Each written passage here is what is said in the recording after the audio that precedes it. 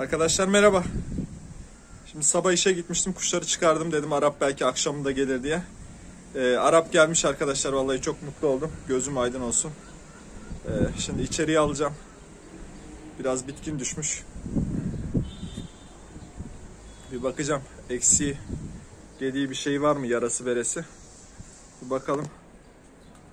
Allah'tan su bırakmıştım buraya.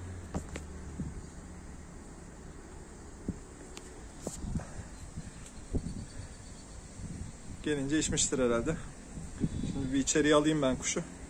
Ondan sonra bir tekrar devam ederiz.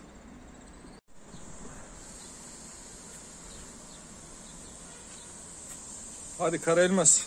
Geç bakalım içeriye bir bakalım. Vaziyetine. Ne durumdasın?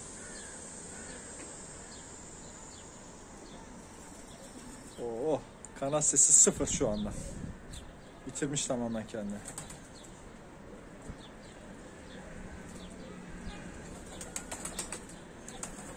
İkinci günün akşamında geldi.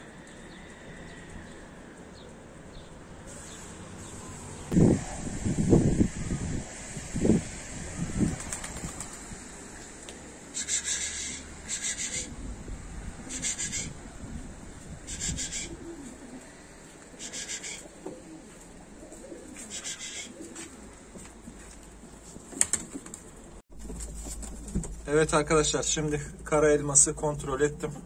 Herhangi bir yerinde bir sıkıntısı yok. Sadece e, iki gündür dışarıda olduğundan dolayı kanat sesini falan kaybetmiş tamamen. Tabii aç susuz kaldı sıcakta. Onun dışında bir problemi yok. Bir iki gün dinlensin. Bir gün dinlense bile kendine gelir diye düşünüyorum. Şu anda her şey yolunda.